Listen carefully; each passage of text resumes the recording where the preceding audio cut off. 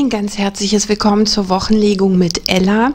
Schön, dass du da bist und wir schauen uns an, welche Karten in dieser Woche verwendet werden oder für diese Woche.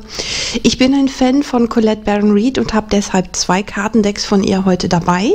Dazu gleich mehr. Ich habe nämlich ein neues Kartendeck dabei, was ich ausprobieren werde und schauen werde, wie es bei euch ankommt. Also gerne in die Kommentare, wie es euch gefällt. Wir sind in der Woche 30. Dezember bis 5. Januar 2020.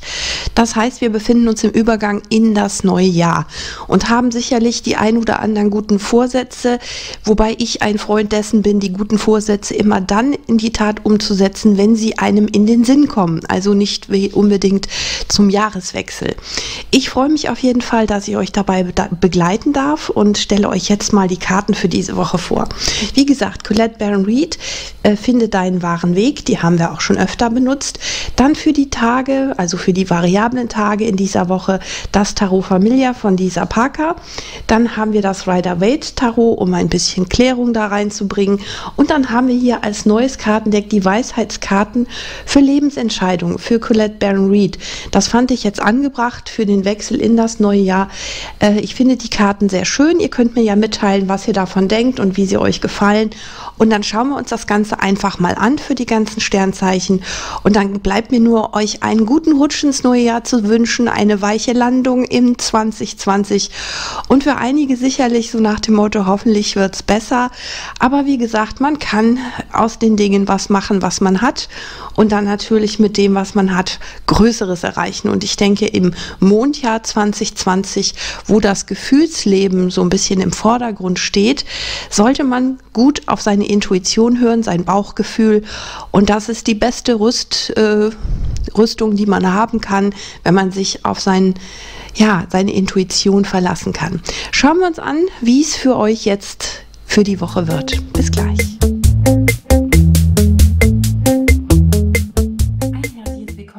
Krebs zur Taroskoplegung mit Ella. Wir sind in der Woche 30. Dezember 2019 bis 5. Januar 2020. Wir befinden uns gerade am Übergang ins neue Jahr und wir wollen natürlich wissen, was für den Krebs auch in dieser Woche so los ist, was du nutzen kannst, was hoffentlich hilfreich für dich ist bei der Allgemeinlegung. Du kennst das vielleicht. Und wir wollen natürlich als erstes schauen, was von außen kommt. Ja, sehr spannend jetzt diese Phase, welche guten Vorsätze man hat, wenn man welche hat und wir schauen, was da kommt. Was haben wir von außen? Die 10 der Erde. Stabilität und Sicherheit von außen. Das kann bedeuten, dass du davon profitierst, dass du jemanden um dich hast, der dafür sorgt und dass du dich dann sozusagen ja, wohlfühlen darfst. Wir schauen mal, wie das zu deiner Energie passt, wie du dich siehst, was dein Wunsch ist, deine Hoffnung und Ängste, was Gutes für dich, was weniger gut ist und natürlich, wie das Ganze ausgeht. So. Okay, schauen wir mal, was wir da für dich haben, lieber Krebs. So, dann kommen wir zu den Wochentagen. Wir haben ja immer die Tage auch. Äh, bei der Allgemeinlegung musst du aber wissen, dass das natürlich für jeden auch ein anderer Tag sein kann. Bedeutet, dass du dir das rausziehst, was dir hilft und das nutzt, wann es dir hilft. Also das kann bei jedem unterschiedlich sein. Wir wollen natürlich auch wissen, wie du deinen Mitmenschen in dieser Woche energetisch gegenübertrittst. Das betrifft deine Lieben genauso wie alle anderen. Was haben wir denn da? Wir haben das Ass der Stäbe, ein leidenschaftlicher Neubeginn. Also du stehst sozusagen in den Startlöchern mit dem neuen leidenschaftlichen Neubeginn. Ich bin gespannt. Feuerenergie, sehr schön. Gucken wir Montag, Dienstag, Mittwoch, Donnerstag, Freitag, Samstag und der Sonntag. So, wie gesagt, das ist variabel. Wenn das für dich ein anderer Tag ist, auch gut. Wichtig ist, dass es dir hilft, dass es dich unterstützt, dir eine Idee gibt, einen Hinweis, was du tun kannst, was wichtig für dich ist. Wir schauen als erstes natürlich danach, wie du dich selber siehst. Da haben wir die drei der Luft, das heißt, du bist gekränkt. Irgendetwas oder irgendwer hat dich gekränkt oder du haderst mit irgendetwas, es gefällt dir irgendwas nicht, das ist enttäuscht. Du bist grundsätzlich einfach enttäuscht. Das ist nicht schön und das ist auch keine gute Stimmung, aber du hast als Energie nach außen den leidenschaftlichen Neubeginn. Das ist auch so ein bisschen wehrhaft zu sein, zu sagen, gut, ne, dann mache ich mein Ding mit Leidenschaft, ich will das umsetzen. Und und das ist eine gute Einstellung, weil das ist nicht sich ergeben, aufgeben, sondern zu sagen, so, ich nehme die Zügel in die Hand oder in dem Fall den Stab. Was ist dein Wunsch? Da haben wir das Ass der Erde. Sicherheit und Stabilität, ein Neubeginn. Du möchtest es anders haben. Ja. Und genau deshalb bist du wahrscheinlich auch leidenschaftlich unterwegs. Von außen kommt Sicherheit und Stabilität. Das kann jemand sein, der dich dabei unterstützt, der dir vielleicht auch hilft, diesen Neubeginn herzustellen. Das ist auch Erdenergie, könnte ein Erdzeichen sein, könnte sich aber eben um finanzielles oder auch in Beziehungen um Rückendeckung, irgendwas in der Hinsicht handeln. Das könnte sehr gut sein. Wir schauen mal, wo deine Hoffnungen und Ängste liegen. König der Erde, ja, du verlässt dich vielleicht auch auf jemanden oder versuchst selber auch jemanden zu unterstützen, der eben schon viel erreicht hat und der für dich vielleicht als Vorbild fungiert, als Mentor oder für den du vielleicht auch einiges tust oder für den du der Mentor bist oder die Mentorin, ja. Je nachdem. Wir gucken mal, was gut für dich ist in dieser Woche. Das ist der Eremit. Auch wieder Erdenergie und ich denke, es geht darum zu eruieren, was muss ich ändern, damit die Dinge so laufen, dass ich zufriedener bin, als ich das momentan bin. Gut, Eremit heißt ja auch, sich ein bisschen zurückzuziehen, aber nicht sich abzukapseln, sondern für sich auszumachen, was für dich ganz persönlich von äußerster Wichtigkeit ist, worauf du nicht verzichten kannst, was für dich elementar ist, um die Dinge umzusetzen, worauf du hinarbeiten möchtest und wie du diese Arbeit am besten einsetzt, um das zu erreichen. Eine schöne Energie, auch wenn das jetzt aus einem nicht so schönen Grund ist natürlich. Was ist nicht gut? Die zwei der Erde, das ist so ein bisschen hin und her, unentschlossen sein, vielleicht sich ausprobieren. Also du solltest schon die Zeit nutzen jetzt, wo zum Beispiel die Feiertage sind, dass du sagst, ich setze mich hin und überlege mir wirklich, was ich anders haben will. Und dann bleibe ich nicht unentschlossen, sondern ich gehe den ersten Schritt. Mit dem Stab ist es so, ich stoße in den Boden und sage, ja, jetzt, Chaka, ja, ich mache das. Und ich bin nicht so, naja, vielleicht und ne, sondern du bist entschlossen dann. Das sollte schon dein Weg sein.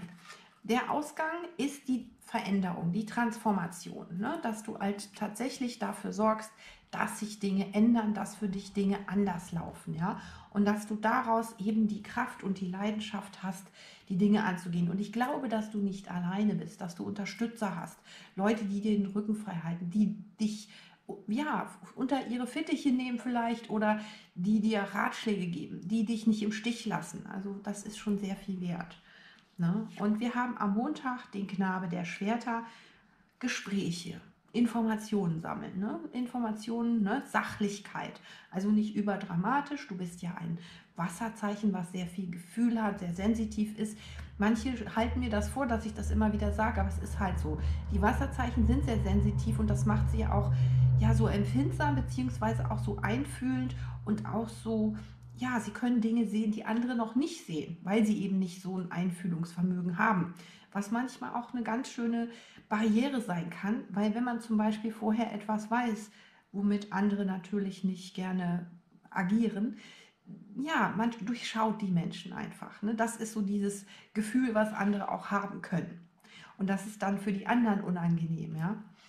Also, Informationen sammeln, auch überlegen, wie schaffe ich das aus der Welt für mich. Drei der Stäbe bedeutet lernen. Warten, bis die Schiffe in den Hafen gelaufen sind, bis du dich entschieden hast, wie es weitergehen soll. Ast der Erde ist dein Ziel, das ist klar. Sicherheit, Stabilität in Beziehungen, im Geschäftlichen, finanziell und so weiter. Ich glaube, dass in 2020 Mondenergie ist ja auch deine Energie, aber in 2020 fordert Saturn Tribut. Das heißt, du musst dich ganz schön auf die Hinterbeine stellen, um die Dinge umzusetzen. Und da ist Lernen, Weiterbildung oder eben zu warten, dass sich die Dinge entwickeln und dann eben einzugreifen, wenn es wirklich Not am Mann ist oder wenn es wirklich richtig ist. Das ist deine Aufgabe. Mittwoch haben wir die Acht der Stäbe. Kommunizieren, König der Erde. Das ist wahrscheinlich die Person, auf die du baust oder die dir hilft, ne, der du vielleicht auch unter die Arme gegriffen hast. Du darfst Hilfe annehmen. Ja, du musst sogar Hilfe annehmen das hatten wir vorher mal in Legung, dass du eben auch annehmen lernen sollst. Nicht nur geben, sondern auch nehmen. Das muss man auch lernen. Und König der Erde ist ja auch ein bisschen träge, ein bisschen langsam. Der wird dich auch nicht bedrängen oder diese Energie wird dich nicht bedrängen. Man lässt dich wursteln, wie du möchtest. Aber es geht halt darum, etwas wirklich in die Tat umzusetzen, um die Dinge zu verbessern. Am Donnerstag haben wir die fünf der Münzen. Das ist der Rückzug wahrscheinlich mit dem Eremiten und vielleicht auch mit dieser Erdenergie. Denn es ist gut für dich wirklich zu überlegen, was mache ich, wie mache ich es, wen hole ich ins Boot, welche Hilfe brauche ich, welche Unterstützung brauche ich und je nachdem, was es ist, auch welche Finanzen brauche ich zum Beispiel. Freitag haben wir die fünf der Kelche. Das ist dieses, ich trauere um das, was nicht geht das hat auch mit dem Eremiten zu tun. Das hat aber auch was mit der Unentschlossenheit zu tun. Das ist verletzte Gefühle. Das ist Trauern, dass Dinge nicht mehr so sind, wie sie waren. Ja, aber die fünf der Kelche sagt ja auch, die Kelche, die umgefallen sind, kannst du nicht wiederbeleben. Aber die Kelche, die noch da sind, die kannst du nutzen. Und zwar hier und jetzt. Ja. So, und dann haben wir am Samstag den Neuanfang. Das ist Risikofreude, das ist unbelastet und frei, auch wenn man an diese Dinge denkt, Ne? Aber es ist der Neuanfang, der möglich ist. Und dann haben wir die Mäßigkeit. Das ist auch Feuerenergie, das ist äh, Schützekarte. Die Mäßigkeit nicht zu übertreiben. Mit dem Boden in Haftung zu bleiben, natürlich hochfliegende Pläne zu haben, aber zu eruieren mit der Erdenergie, was geht, was nicht. Ich bin leidenschaftlich dabei, Feuerenergie, aber ich halte meine Leidenschaft im Zaum, weil ich möchte jede Kleinigkeit bedenken und beachten. Das wird, wie gesagt, auch von Saturn gefordert, dass du nicht einfach drauf losgehst, sondern dass du wirklich überlegst und für dich essentielle Entscheidungen triffst, aber das trifft man ja auch nicht mal ebenso zwischen Tür und Angel.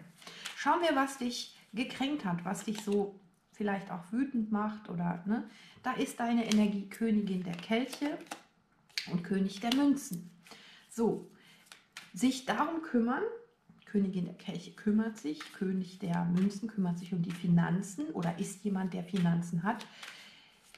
Das, was bisher war, hinter sich zu lassen, die Kränkung zu verarbeiten. Königin der Kelche kann manchmal ganz schön dramatisch sein, übertreiben. Ich denke, der König der Münzen hält das so ein bisschen im Zaum. Ja? Also sehr viel Gefühl, sehr viel gekränkt sein, sehr viel vielleicht auch Dramatik. Aber die gilt es im Zaum zu halten. Das Ast der Erde ist der Wunsch. Da haben wir die Liebenden und da haben wir den Mond. Wir haben ja den Mond. Das ist so diese Energie des ganzen Jahres 2020. Sensitivität, Gefühle, sich auch mit seinen Schattenseiten auseinandersetzen. Du hast sicherlich auch Schattenseiten, wie wir alle. Und die dann zu bearbeiten, auch im Sinne von, was kann ich besser machen, was wäre besser, auch wenn das ja für mich schwierig ist. Aber ich muss da was verändern, auch in Sachen Liebe, Zuneigung, Gefühl. Ja, wenn ich was erreichen will, darf ich mich nicht nur nach den anderen richten, sondern muss ich mich auch danach richten, was für mich wirklich essentiell wichtig ist. Das heißt nicht, dass du andere übergehst, sondern dass du deine Bedürfnisse, deine eigenen Vorstellungen umsetzt und die anderen mit ins Boot holst, was natürlich nicht immer ganz einfach ist. Hoffnung und Ängste, König der Erde, Sechs der Münzen, ausgewogenes Geben und Nehmen, dass du eben nicht immer nur die Person bist, die gibt, sondern eben auch empfängst. Das hatten wir eben. Ritter der Schwerter und zwar ziemlich schnell, dass du darauf achtest, wenn jemand so vom Stamme nimm ist und immer nur ja, verlangt, verlangt, verlangt und nicht zurückgibt, dass du da mal auf die Finger haust. Der Eremit ist eben, dass du daran arbeitest, die Dinge für dich machbar zu denken. Also, dass du überlegst, wie setze ich das um? Wie kann ich das umsetzen? Und da kannst schon mal gedanklich ein bisschen im Kreislauf enden, also im Hamsterrad, dass man da irgendwie nicht zu einer Lösung kommt. Und da ist es wichtig, andere mit ins Boot zu holen. Ja, und zu überlegen, andere um Rat zu fragen, Leute, die Ähnliches erlebt haben, ob das jetzt beruflich oder privat ist, spielt keine Rolle. Zwei der Erde ist nicht gut, das ist die Zurückhaltung, das ist Jonglieren, das ist die Vergangenheit. Und du musst dich da mit dem Page der Münzen klein, klein wieder raus, ja, wie soll ich sagen, rausbuddeln. Ja? Lass das, die eine Münze liegen, kümmere dich um eine Münze, nämlich dass du wieder rauskommst aus dem Schlamassel oder aus der Enttäuschung und dass du die Veränderung mit bearbeitest. Da ist Kommunikation, ist Informationen sammeln und den Ballast abzuwerfen, nämlich zu sagen, warum soll ich den ganzen Ballast alleine tragen? Ja, ähm, sehe ich gar nicht ein. Habe ich die ganze Zeit gemacht. Das ist dieses Hin und Her. Soll ich, soll ich nicht, soll ich, soll ich nicht. Die Vergangenheit, es gab doch schöne Momente, ja. Du musst dir überlegen, was für dich jetzt wichtig ist. Wir haben das Ass der Stäbe, du bist leidenschaftlich dabei und diese Phase solltest du natürlich nutzen, Dinge für dich umzusetzen. Da haben wir den Knabe der Schwerter nochmal, den wir hier hatten, in ruhigere Gewässer. Das heißt nicht überstürzt handeln, sondern erstmal ausgucken, was ist denn da, was kann ich machen, was muss wegfallen. Der Turm ist Platz schaffen für Neues. Das Alte hat sich nicht bewährt, wie bei den fünf der Kelchen zum Beispiel auch, dass man sagt, ähm, ja, das ist umgefallen, das kann ich nicht mehr neu herstellen oder das kann ich nicht wiederherstellen. Ich kann nur mit dem arbeiten, was mir zur Verfügung steht. Und all das, was mich behindert daran, das kann ich langsam, mit langsamen Schritten, Schritt für Schritt aus dem Weg räumen. Drei der Stäbe, über den Horizont schauen, was sind meine Zukunftsperspektiven? Was will ich erreichen? Mit Geduld, Ritter der Münzen und der Herrscherin. Der Ritter der Münzen ist ein Erfolgsgarant. Das solltest du nicht vergessen. Also alles, was du langsam angehst, was du gut durchdenkst und wo du dran bleibst, wo du dich nicht von Rückschlägen aufhalten lässt, das wird fruchtbar sein mit Saturn. Ja? Ich weiß, dass in 2020 für die Krebse das ein oder andere ja passiert, also im Sinne von äh, kleine Bröckchen, die einem zwischen die Beine geworfen werden, astrologisch gesehen. Lass dich davon nicht beirren. Das sind einfach nur Tests, um zu, zu sehen, hältst du das durch, ziehst du das durch, meinst du es wirklich ernst? Und so solltest du das auch sehen. Ja? Es wird deine Ernsthaftigkeit angefragt, dein Durchsetzungswille auch.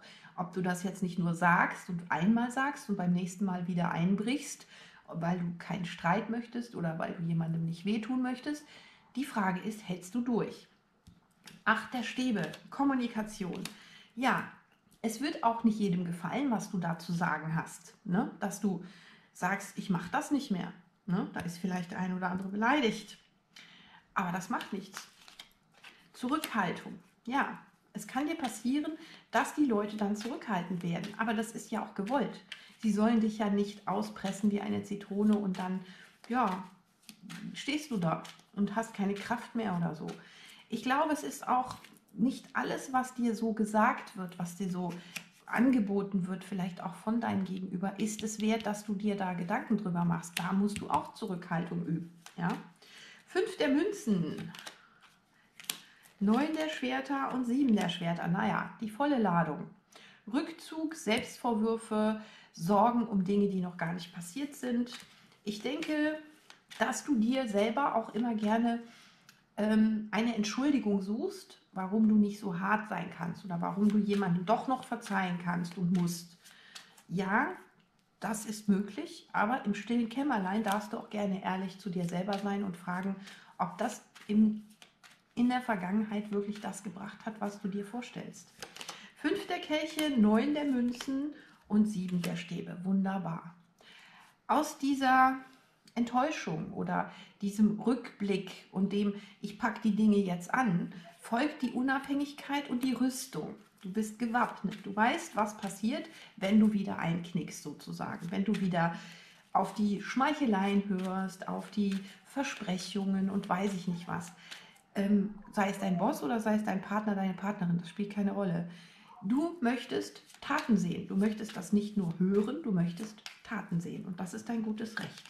Neuanfang, neue Möglichkeiten tun sich auf und die Welt. Die ganz neue Welt. Und ich weiß, dass du da auch, wie die Erdzeichen, auch so ein bisschen Probleme hast mit diesen Veränderungen. Aber diese Veränderungen finden statt, ob es dir gefällt oder nicht. Und es ergeben sich daraus für dich und auch für andere natürlich neue Möglichkeiten. Da gilt es abzuwägen, was du möchtest. Das musst du auch nicht überstürzen. Ja? Du hast einen karmischen Zyklus abgelegt. Das heißt, du rennst nicht wieder im Kreis herum ja?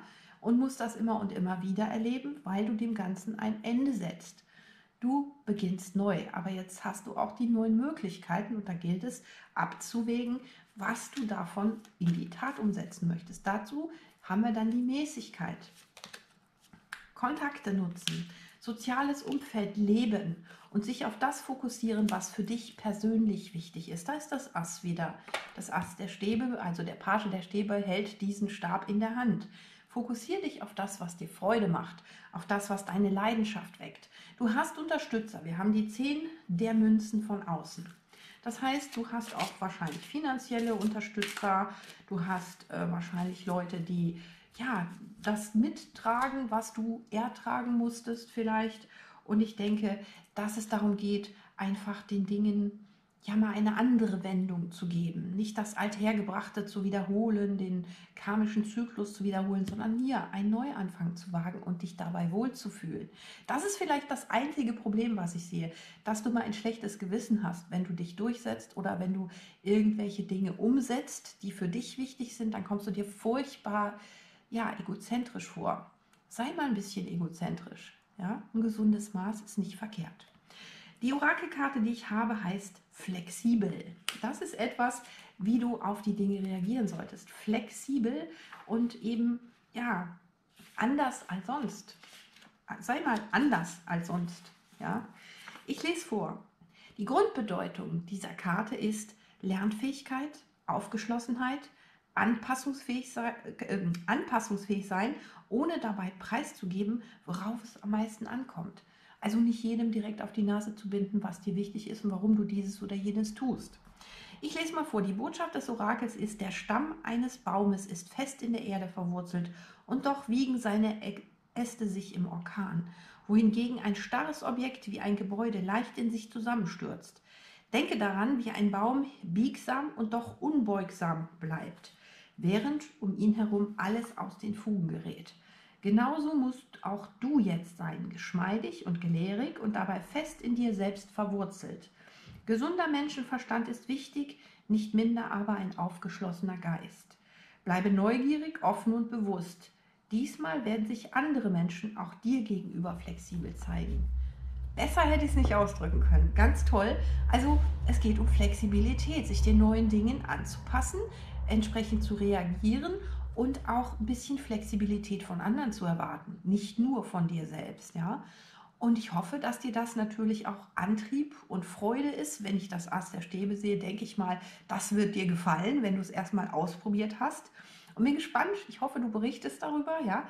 Ich wünsche dir ein tolles 2020. Lass dich nicht unterkriegen, lass dich nicht von, von irgendwelchen Hindernissen aufhalten. Du kriegst das hin, da bin ich mir sicher, mit der Unterstützung und der Zuneigung anderer Menschen, die an deiner Seite sind und mit deiner neu gelernten ja, Offenheit, Flexibilität kriegst du das Ding hin. Ich ähm, kann dir nur alles Gute wünschen. Ich freue mich und dann sehen wir uns dann in der nächsten Woche, wenn du magst. Bis dahin.